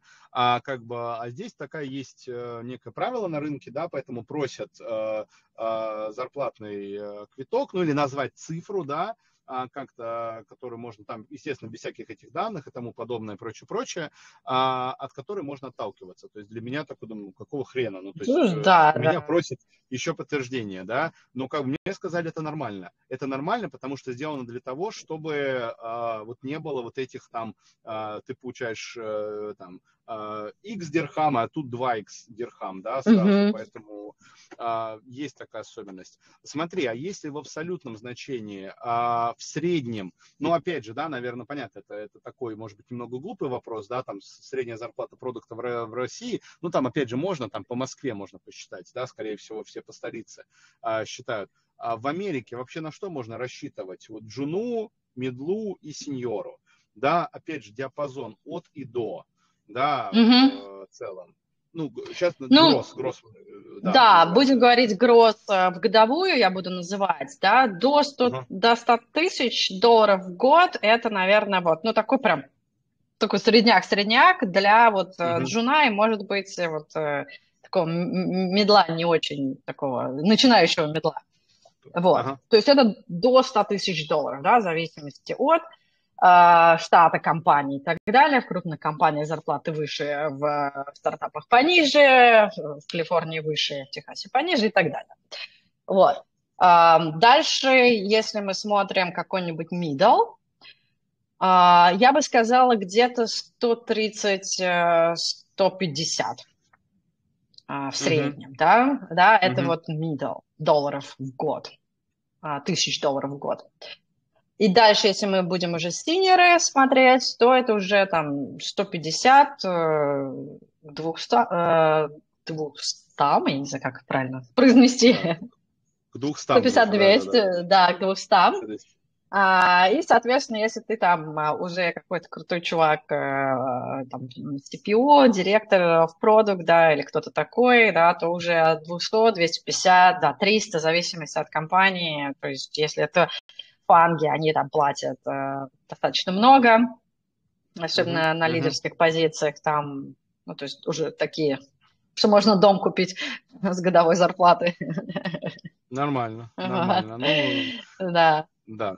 Круто. Да. А, good. А, смотри, в целом, а, ну, как бы мы прошлись по всем вопросам. Я вижу, там вот кто-то тянул руку.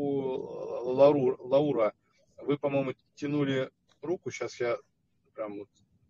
А, С самого начала можете... уже полтора да, часа. Да, да. А, не, нет, ну просто сейчас там последние минуты, там 7-10, ага. мы когда про деньги начали говорить. Лаура, я вам включил микрофон, э, можете сказать, задать вопрос. Или если, Лаура. Если не случ... если Или Лаура. Ага. Да, тут, а то тут есть, этот, да, есть нюансы. Либо, может, случайно. Ну ладно. Может, ну, да, ладно. может, случайно. Может, случайно. Да. А, слушай, блин, да, очень интересно. Ну, то есть, как бы, если такое некое, некое summary, да, подвести, а, ну, у нас же поиск работы в США, что нужно, чтобы mm-hmm. найти работу, да, мы говорили про продуктов, но я так понимаю, это справедливо будет для всех сфер, а, как бы, в общем, да, а, Первое, это нужно готовиться. Да, всегда нужно э, иметь описанный опыт. Резюме. Давай, да, да, да, давай начнем, наверное, с понимания легализации.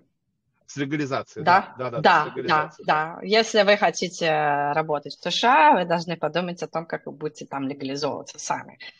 Вот, да? Да. Сто, сто процентов. Потом как раз, а, ой, какой у меня, какой мустанг с московскими номерами паркуется С московскими, ничего себе. С московскими, да, 799. А, собственно, а второе, это, естественно, подготовка, опыт, резюме, LinkedIn, а, нетворкинг, да, сеть рефералов, людей, которые уже работают в компаниях, куда ты хочешь попасть, да, там рекрутеры и прочее, прочее, прочее. Ну, то есть это такая база, да. Да. А, э, понятно, да, как бы э, четкое понимание, я так понимаю, чем более как-то ты таргетировано там штат, город, компания, да, уровень жизни, ты понимаешь, что сколько стоит, сколько нужно с собой брать денег, да, на первое время, да, сколько займет поиск работы. Ну, я так понимаю, по твоему кейсу это 3-4 месяца, да, но я так понимаю, это очень сильно зависит от позиции, от, э, естественно, там, знания английского, знаний, э, ну, то есть умения проходить интервью, да, и, соответственно, как раз третье, это вот это, ну, то есть э, через менторы, через с помощью ментора, с помощью тренажеров, да, попрактиковаться на прохождении интервью, чтобы быть, опять же, там во всеоружии, ну и, собственно, получить как бы определенный успех. Ну, либо прийти к тебе, да, за рекомендацией, например, или консультацией, да, тоже хороший вариант. Да, да, но я, э, я могу, я действительно могу практиковать и тренировать на интервью, а, просто я имею, э, я думаю, что можно это делать и не платя, да, все-таки как бы я буду просить деньги, да, можно это делать самостоятельно, я это делала самостоятельно и бесплатно, да, то есть да, есть да. такая возможность. Просто найти себе партнеров, друзей на платформе, да, и это делать. Просто как, как мы обсуждали как раз с Кириллом из Гугла, а, вот, mm-hmm. да, его проблема была в том, что он не готовился, и когда ты уже выходишь на более такой высокий уровень, когда ты вроде как уже оттарабанил свои первые, я не знаю, 50 а, мок интервью с кем-то, с людьми там непонятными, да, уже хочется более качественного фидбэка, и уже тогда надо mm-hmm. привлекать себе консультанта, коуча, когда ты уже вроде как все знаешь, все умеешь, но ты хочешь что-то еще лучше, да, вот тогда что уже да. можно привлекать и платить деньги за коучи, который тебе будет давать очень-очень хороший валидный фидбэк, как не, не, mm-hmm. не тот, который тебе просто дают вот какие-то знакомые, которые не в теме, или такие же, как ты, ниже, ни, ни, ниже уровня, да, допустим, если люди, они что не могут дать фидбэк какой-то. Да. Вот, поэтому, да, практика очень важна, практика очень важна. И самое главное, а, настрой на то, что это процесс долгий, болезненный долгий, и много отказов. Да, люди очень сильно, я вижу, ломаются, а, особенно те, кто привык искать в России, где за ними все бегали. Да, Говорят, да, да, я, да, да, я прошел три собеседования, или я восемь резюме закинул, ничего мне ответа нету, вот, э, типа, что я делаю не так? Я такая, хо-хо-хо, да, ребята, давайте вот еще, еще 50, да, нужно, чтобы просто игра цифр, да, США это игра цифр. Вороночка, да, то, что... да, воронка. Да, вороночка должна быть, конечно, побольше, не 8 отправленных резюме, да, должно быть 80 отправленных резюме или 800 отправленных резюме, да, вот примерно о таких цифрах. Андре mm-hmm. Ремати, Андрей Ремати мне в интервью говорил, что он 2000 резюме отправил. Две... Слушай, а какая конверсия вообще в э, собеседование а, в целом? Ну, то есть, условно... Очень, из... да, да, да, очень ставить, низкая. Угу. Да, да, да. да, если говорить про, вот как раз Маша Подоляк недавно на статистику приводила, если ты уже крутой на рынке США и вот уже тебя все знают, то твоя конверсия будет, ну, где-то, может быть, там, типа 20%, да. А, скорее всего, да, да, это если ты уже достаточно давно на рынке США и вот с каким-то ага. опытом. Если мы говорим mm-hmm. про человека, который без э, опыта на рынке США только приехал, да, конверсия будет там, ну, 0,5%, ну, примерно так. Ну, то есть достаточно низкая конверсия, поэтому, конечно, нужно расширять свою воронку. То есть, наверное, из 100 отправленных резюме у вас будет, там, я не знаю, может быть, одно собеседование. Ну, одно вот, или, поэтому... или вообще там из 200 одно получается, ну если 0,5%, да, то есть это... Ну, слушай... да, 1, 0,5, да, ну вот примерно вот, вот в этих рамках, да, будет у тебя два собеседования из 100, прекрасно, будет у тебя а, одно из двухсот, да, ну, это тоже, то есть, ну, ты каждый раз работаешь над улучшением этой конверсии, то есть ты приехал с резюме из HeadHunter, отправил, у тебя конверсия ноль, да? Ну, да. Или какой-нибудь индус позвонил, да, который, которому все равно, да, кому да, звонить, да? да? Ну, вот да, примерно так, да. С которой все равно конверсия ноль, и разницы там нет, что типа позвонил или нет. Время ты потратил. Uh-huh. Вот, соответственно, ты такой, ага, что-то не то, да, пошел такой формат поменял, такой, раз смотришь, там один звонок. Дальше еще пошел, э, наполнение поменял, там, достижения подобавлял, циферки какие-то, да, фоточку убрал, mm-hmm. да, отправил, о, чуть получше стало. Ну, примерно вот такое аботестирование, постоянное улучшение вот резюме. Но конверсия действительно низкая, и это вообще нормально. То есть поэтому надо иметь просто это в голове, что рынок США, он такой, что это игра больших цифр, если ты не супер крутой какой-то профессионал с каким-то мега крутым нетворкингом. Уникальным да? опытом. Да, да, да, да, да. да. Поэтому э, надо отправлять много, да, 8 резюме отправленных это недостаточно, это очень мало, э, и надо отправить, ну, отправлять действительно много. Угу, угу. Слушай, да, понятно. Интересно. Да, ну, опять же, и рынок э, Америки, он э, очень большой. То есть, если бить просто Project United States, там несколько сотен тысяч э, позиций откроется. То есть, там понятно, что это по штатам делится, по компаниям, там по уровню, э, там, seniority и прочее, прочее. Но это прям реально, то есть, ну и конкуренция, конечно. Да, да. Высокая. Это вот как бы, да, вот российский рынок, он такой маленький, да, компаний мало, сотрудников мало, да, все друг друга знают, и примерно вот такой какой-то домашний такой рынок. И каждый как бы тебя может где-то схантить, порекомендовать, и ты примерно все знаешь. Выбор у тебя не очень большой не в целом, очень, да, ну, в России, да. да. А в США ты приезжаешь, у тебя просто поле не паханное, и того, и другого. И компания у тебя там э, десятки тысяч, да, и кандидатов у тебя сотни тысяч. И вот, конечно, вот это такая мясорубка, действительно другие совершенно масштабы, поэтому и смотреть на это нужно тоже немножко по-другому. И с точки зрения конкуренции, процессов и вообще всего, и насколько тебе действительно нужно и с кем ты конкурируешь, да, понимание о том, что в России ты конкурируешь, ну, как бы с э, российскими ребятами, здесь ты конкурируешь со всем миром. И это, конечно, ну, просто нужно в голову себе вбить, да, что ты не уникален, да, и снять вообще корону, что если даже в России ты был очень классный, совершенно не значит, что ты здесь классный. Здесь таких классных, да. как ты, просто очень много. Вот. И очень важно, да, снять корону. И каждый классный в своей области, да, вот. Э, и индийцы, например, они очень, очень усидчивые, трудолюбивые. Вот их, э, они могут долбать свои мок-интервью сотнями. Я читала статью э, чувака, он устроился в Walmart, ну, не продавать, а в, это, в приложении. Он прошел 300, 300 мок-интервью, меня не хватило на столько, но слишком, слишком много. Вот, вот они вот такие, да, вот они просто долбят, долбят, долбят, долбят. Китайцы, они очень сильные в вообще математике, технически очень крутые чуваки, тоже очень такие усидчивые, упоротые, понимаешь, вот. Американцы, они крутые в своих коммуникационных навыках ты никогда, mm-hmm. наверное, не, не, не переиграешь американцев в коммуникационных навыках. То есть это тоже нужно понять, и все равно будет лучше тебя говорить, потому что он здесь родился и с детства учится продавать себя прямо со школьной скамьи.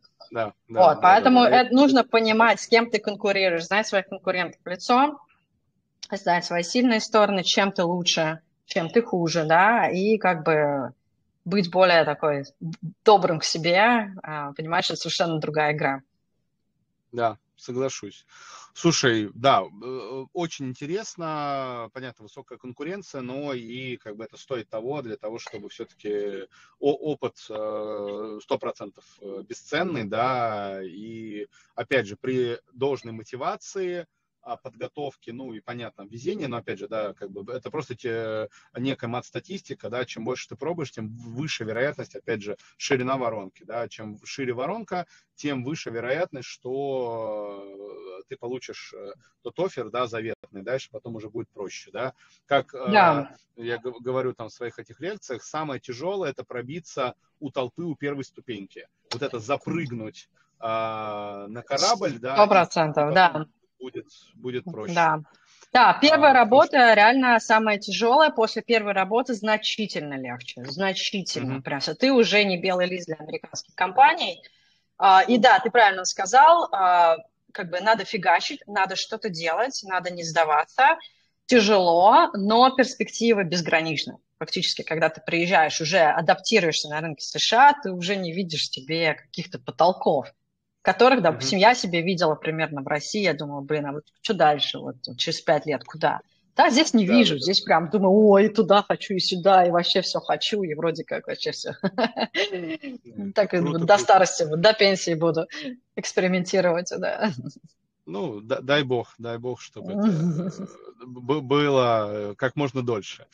Гуд, ну да. что, спасибо тебе большое. Очень было круто, интересно. К сожалению, я э, извиняюсь там перед всеми, кто подключался и были проблемы со звуком. Не первый раз такое, но как бы в любом случае я запись выложу а, прямо сегодня. Я, естественно, вышлю ее тебе. А, и, а, собственно, последнее слово как бы за тобой. Что-то, может быть, напутствие какое-нибудь. А, ну, напутствие, наверное, да, а, как бы действуйте, да, не надейтесь ни на кого, надейтесь только на себя. А, вы – это mm-hmm. самый важный ресурс. Не надейтесь на, если хотите искать работу, не надейтесь на работодателя, да, если хотите что-то менять, не надейтесь на там, правительство, государство своего мужа, жену, да, вот вот, только, только вы, да, только вы способны изменить свою жизнь и что-то сделать. Поэтому а, просто делайте, берите инициативу в свои руки, меняйте свою жизнь, если вам это нужно. Все? Это нужно. Очень, очень круто, да. А, круто. Еще раз, Ань, спасибо тебе большое. Спасибо всем, кто нас все-таки послушал в эфире и будет смотреть, да, в записи. А, тогда что? Тогда до, до встречи и всем удачи. Да, спасибо огромное, что пригласил. А, тоже получил огромное пришло. удовольствие поделиться с тобой и с твоими подписчиками, своими знаниями. Спасибо Gut. огромное. Спасибо. Тогда всем удачи и хорошего там дня, вечера или утра, да, смотря у кого Да, да, дня, день, утро даже, обед почти, да. А, ну тем более, тогда хорошего дня тебе. Все, спасибо. Тогда. Да, все, пока-пока. Все, пока.